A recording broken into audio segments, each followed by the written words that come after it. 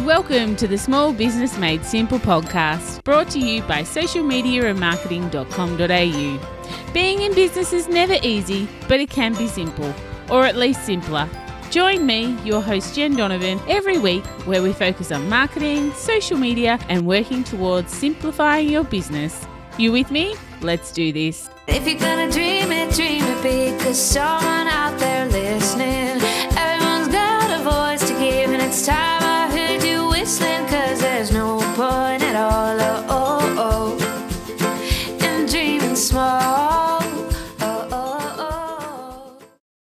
Why, hey there, my fabulous listener. Welcome back. Welcome to episode 277 of the Small Business Made Simple podcast. Thank you, as always, for lending me your ears today. I know you have lots of choices of things to do with your time and your energy, and I really do appreciate you making my Small Business Made Simple podcast one of them. And if by chance you're a first time listener, then super welcome to you. I'm so pleased to have you here and excited that you are now a listener of my podcast. A few things before we get into today's episode. Today's episode is all about three Facebook trends that will shape your 2024 Facebook strategy. So, a few things before we get started. First of all, did you have a listen to last week's episode, episode 276? It was the first one of the new year, and we talked all things of getting ready for the new year. What does that look like? What is your marketing going to look like? What is your business going to look like? If you haven't tuned into that one, after you finished here today, slip back there and have a listen in.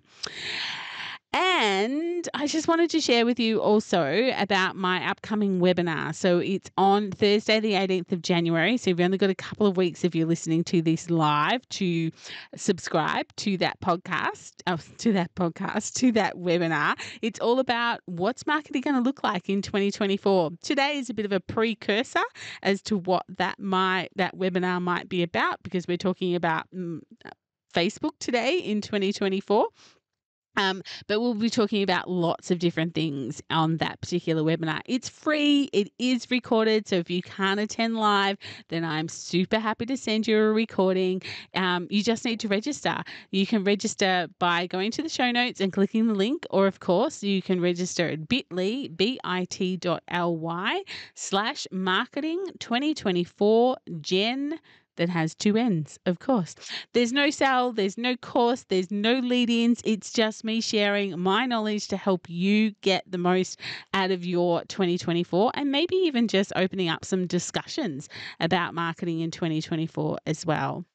But something to buy, if you're interested, of course, is my Small Town Big Impact book that I released in 2023 with 107 simple marketing strategies. It's available on my website at socialmediaandmarketing.com.au. Um, you can get it there. 24 7. And while you are hanging around on my website, you may notice, which you probably won't, but I'll tell you where to go to notice. Under my freebies tab, there are three brand new freebies for you to help you with your marketing in 2024. Feel free to download one of them or all of them. I haven't changed my big freebies up for a little while. So 2024 was the year that I think it's about time that they got changed. So as of today, they are all brand new freebies under my freebies tab. You're welcome to take a sneak peek at them. But let's get on to today's episode Facebook trends, three Facebook trends that will shape your 2024 Facebook strategy. Loads of people will try and tell you that Facebook is dead, but honestly, they don't know what they're talking about. Yes, okay, if your audience is probably under 25, then Facebook may not be the best place for you to market your business and be spending time. But other than that, it is still a fabulous place to market. And believe me, I would love nothing more than to have Facebook disappear like fairy floss in water. But alas, it's here to stay. It just keeps getting bigger and bigger. In fact, Facebook hit a new milestone early in 2023, so kind of 12 months ago, where they reached 20, 20 where they reached 2 billion daily users for the first time. So that was a milestone they hit in 2023, almost 12 months ago. So it's just something that is continually growing and in a constantly changing social media landscape, the world's largest social network continues to hold its ground. Facebook is still trendy. Sorry. so, what are these three trend strategies for 2024 that I think you need to be aware of? Well, the first one, of course, is Reels. Reels is here to stay on Facebook. Look, they took off like a frog in a sock on Instagram, and no one really knew if they would be a Facebook thing, whether they would hold their ground on Facebook. But enough time has actually passed now for a verdict, and the verdict is yes, they are a Facebook thing. Reels play, real plays on Facebook actually doubled last year, and it's on pace with growth with them on Instagram. So I do actually wonder though sometimes when we hear stats like, you know, they've doubled, it, you know, their views have doubled in, you know, 12 months or something like that. Because is that us, us humans, causing such big growth? Or is that the algorithm pushing more reels into our feed, which makes us watch more reels. And I'd have to say it's probably either the latter or a really good mix of both. And it's no coincidence that if Facebook wants something to be successful, they want us to watch more reels, they're going to give it more algorithm more algorithm, more time, more energy, and you know, just push us, I guess, teach us that that is what we are going to be looking at on Facebook. And of course, kapow, it works. Um, and we are seeing those stats coming out. Because remember, TikTok is stealing Facebook's eyeballs, they are stealing us away. I would say I probably spend more time on TikTok these days watching reels or video, short form video, than what I do on Facebook. Facebook doesn't like that. So they are doing all that they can to keep reels being a Facebook thing, and it is a Facebook thing. So as the platform stri- strives to make more money, from Reels content, make sure you're watching out for new opportunities to advertise through this short form Facebook video, aka Reels. So, what should be on your to do list knowing that Reels are going to be trending into 2024? Well, I think you need to start thinking about Reels as part of your Facebook strategy rather than just only an Instagram surface. So, rather than creating Reels for Instagram and just simply pushing them across with not much thought to it, maybe Reels for Facebook needs to become a bit of a strategy for you. It would be really interesting for you to carve out some of your ad budget and test some reels as ads and create your own paid reel reel ads. Saying reels so often is really hard today. Pardon the pun. Um, so I do apologize for that. I'm getting a little bit tongue tied saying reels so often. Um, and of course, keep your eye out for new opportunities when it comes to advertising with reels as well, because I really do think Facebook will be pushing them even more this year in our Facebook feed. Number two, and this is what I'm currently working on in the background, and currently investing quite a lot of time and energy into this and will be doing so in 2024. This is kind of like I feel that last year was all about AI for me and my business. Um, the year before was all about NFTs. I feel this year is all about chatbots. So, chatbots is what I'm really focusing on in January of this year. Just learning more about them, um, having a bit of a play with them within my content, and that sort of thing. Um, chatbots will take over frontline customer service as we move through 2024. Chatbots have been the uh, they have been able to answer most basic customer service questions for quite some time now. Like obviously, if you go to someone's website and there's a little button, you know, talk to someone. Quite often, it is a bot and then as you get further down the line, you get a human. Um, but conversational AI is taking their capabilities to the next level. Customers will no longer have to wait for business hours to get their answers, and that's good and quite problematic depending on whether you're the customer going, Woo, I got my answer, or whether you're the business owner going, Oh my God, my customers expect me to be on call 24 7 because somebody else has got a chat bot and making them think that that is the way the world should work now. Chatbots, a little bit problematic. But look, Messenger is only going to get bigger and better in 2024 because of chatbots and people using them through customer services.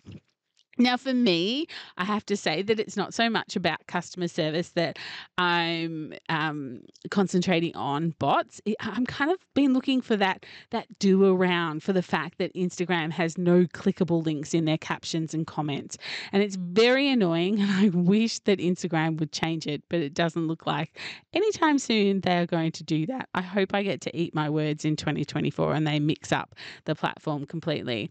So this is what I've been looking at chatbots for is to kind of have that workaround of not being able to have things that are clickable. Um, so I've been working on some chatbots that chatbots that will trigger when someone writes a particular word or phrase in a particular post. And I know this is about um, Facebook, and now I've kind of switched to talk about Instagram. But I just wanted to give you a bit of an idea of what I'm thinking of for bots. Um, so, to give you an example of that, just say, for instance, you want to sign up for my 2024 marketing webinar, um, which means you have to give me your name and email address because I want you to actually register for the webinar. And I post about it on Instagram. So rather than saying in my Instagram post, link in bio or DM me for the link, because again, there's no live links. Um, I could say something like comment 2024 in the comments and I'll send you a link. And then a magic DM appears in your Instagram inbox that says, Hey, insert name, here's a link. You can register here. Can't wait to see you on the webinar soon, or something like that. So it's kind of making it simple for someone to get something rather than, you know, um, you, you've got to go and find someone's bio and then you've got to find the right link or they've got a really bad bio and it's just a link to their website and you get to their website and you're like, well, where the hell do I go now? All of that sort of thing. Like it's really hard to get leads and get engagement and get people from Instagram onto your email list, which to me is the whole purpose of being on social media. And chatbots seem like a pretty good solution to that. So I'm going to keep experimenting with those. Um, and you may or may not see them become more and more active on my um, Instagram account or on my social account altogether. But the one that is working at the moment, they may or not, may not all be working by the time this goes live. But the one that is working is if you do an Instagram stat story and you tag me in that Instagram story. So, say for instance, you take a screenshot of you listening to this podcast and then you put it on your Instagram and you tag me at Jenn Donovan, my bot will work. So you will get a little DM message from me that is actually a bot. Um, so again, it's pretty cool, and it also helps with a couple of different funnels that I'm going to have come off that, which aren't set up now. Um, but anyway, that's something interesting. If you want to have an experiment and see what it does, uh, yeah, go and take a screenshot of you listening and um, tag me. So, what should be on your to do list given that we have just talked a lot about chatbots? So, for me, I think that I would really like to encourage you to do some research. Um, I'm using ManyChat. Um, this is something I've used for quite some years, but I haven't updated how I've used the bots for a long time. So, Oh gosh, I think my bots for ManyChat have probably been set up, I'm going to say five or six years now. So, quite some time before I've gone back and thought, how else can I use this platform? Um, I suggest that you follow ManyChat, you have a look at some YouTube videos on how to use chatbots in your social media, and just get inspired by other people. Perhaps you could think about your customer journey and how a chatbot might, might be able to improve your customer experience. Um, and if you're not already using Facebook Messenger for customer service, then maybe aim to implement a Facebook customer service strategy this year, um, with or without chatbots. I think that will be a really great way for you to improve your customers' experience and journey through buying your products or services in 2024. Okay. Number three, you might not be surprised, that my number three is artificial intelligence. AI. It is absolutely freaking everywhere, and there are billions upon billions of dollars being spent by big companies on AI, and Facebook or Meta is really no different and possibly really leading the charge in many ways. Like, uh, you know, VR glasses and all of that. Like, I think they're just going to, they seem so far fetched now, but I think they're really going to become something that we just have in our lives. And the meta universe, well, we haven't heard much about the metaverse for a little while, but I don't think it's gone away. I think just who we listen to has perhaps um, gone a little bit quiet. And AI, of course, isn't new to Facebook or to Meta, but keeping a close eye on what changes you are seeing in 2024 is a really good idea. AI, of course, is always helping the algorithm, um, or really is the algorithm, um, to decide what to show us and in what order and to who our products and services and our posts get shown to. But we already knew that, right? We already know there's an algorithm. Um, but if you think that Facebook if you think of Facebook like a business, then they need to get better at this stuff to make more money. So they are going to start instantly prioritizing content that will watch longer and that will also shower with comments and reactions. So, again, there's so many different things that I've talked about for so long when it comes to your social media about hacking the algorithm that are just even more important now in 2024 because the AI algorithm is getting smarter and it's becoming more programmable as well. Like they've got big money, big ideas, big brains working on this. So, how do you beat the 2024 algorithm? I know this is probably going a little bit sideways from today's conversation, but it's the exact same way that I've told you to beat it in 2023, 2022, 2021, 2020, and so on. Basically, you need to have a reach out strategy, spend time on the platform, commenting, liking, giving some social love to others, um, including those that are in your target audience that one day might do business with you. Be strategic about your reach out strategy. Reply to the people who have commented on your posts. Don't leave them hanging, especially if your posts get good comments straight up, like after not long after you've posted it. Keep that love going. Answer them back. Ask them more questions.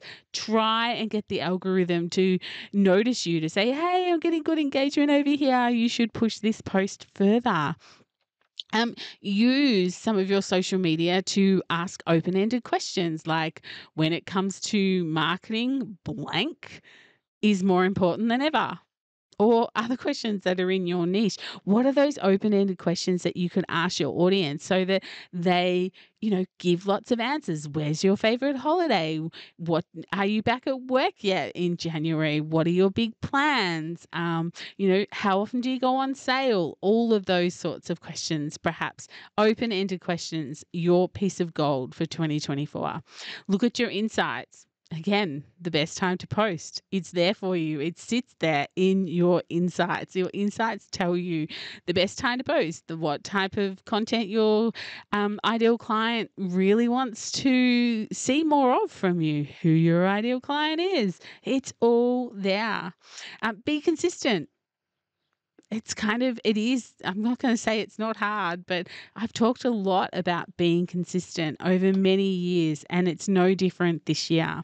Have calls to action on your posts so that your reader or your watcher knows what to do next after they've read your post or after they've watched your video. Do not leave them hanging. And Lastly, don't do what you've always done and expect a different result. That is the meaning of insanity you know, doing the same thing over and over again and expecting a different result. Change things up a little, push yourself a little bit more in 2024 when it comes to your marketing. Okay, and lastly, just a fourth Facebook 2024 prediction. Um, Facebook will continue to move away from being a news content platform and more towards an entertainment platform. It's trying to compete with TikTok, which means those call to actions that I just spoke about above will get less algorithm love and perhaps chat bots um, and a comment prompt is what you'll need to do in its place. So this is where I start to tie all these ideas into one. Like we've talked about AI, chatbots, we've, you know, talked about all these sorts of different things and they all tend to blend in with each other like reels it's really hard to get someone to um, take some action from a reel but you know do you need a chatbot that can help you get more data from that reel by having them take action that isn't the normal action um, and is easier for the person who is watching it or for your ideal client to take action. Um, so, thinking about those sorts of things. And of course, with all this, what's your insights for changes in your reach? Um, it might get to the cha- stage where a chatbot is now necessary rather than a nice to have because you can just see your reach and your engagement just getting lower and lower and lower because of something, you know, such as the algorithm isn't showing your posts or your reels much because there's always a call to action in it with a, you know, with a, um, a link out, which isn't working so well at the moment. So be thinking about these things. And without sending you down yet another rabbit hole where you'll probably find me, if you are going to invest in chatbots, and I know I've spoken a lot about them on this episode, you but you do need to work out your return on investment on a chatbot as opposed to your return on investment of say a meta or a Facebook ad which is more profitable, which has the best return on investment. It really is something to think about. And I'm sorry to throw that curveball in at you because, as much as I love chatbots, um, the more you have, the more they cost, clearly. So, depending on what you're creating the chatbot for, are you better off to have created a, a a Facebook ad that is all about, you know, lead generation rather than a chatbot that um, is costing you money every time someone comments. I don't know, something to really think about. Okay, that's it. There's three, or actually four trends.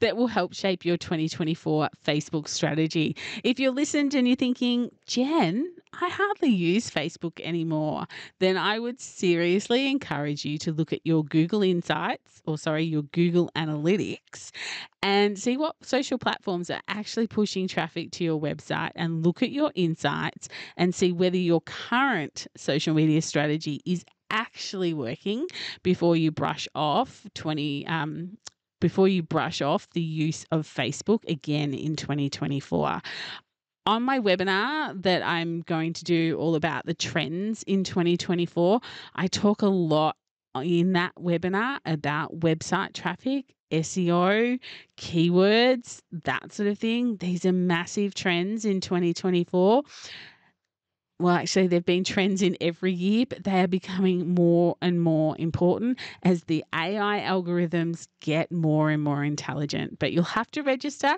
for that webinar to hear more about that. Of course, I'd love to hear from you in my like minded business owners Facebook group. If you aren't a member, then go over there and join. And if you are a member or when you become a member, share your thoughts and feelings about Facebook in a Facebook group ironic, hey. But, you know, let me know how Facebook, how you feel about Facebook coming into the new year.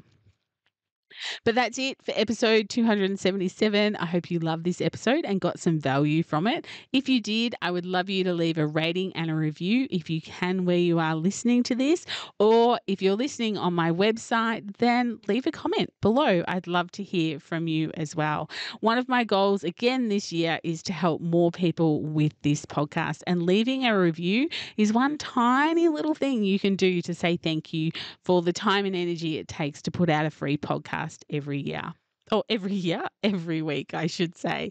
Otherwise, I'll see you back here for episode 278. Remember my offers at the top of this um, podcast, my marketing webinar, the links in the show notes, my book you can buy anytime, and of course, my amazing new freebies on my website. Go and check them out. But in the meantime, if we aren't friends on social media, please come and find me and let's be friends over there. But whatever you do, remember my small business peep, as my opening song says, there is no point in dreaming small. No time like the present. Tell like you feel it, say it proud, be true, and let us see you for the star that you are.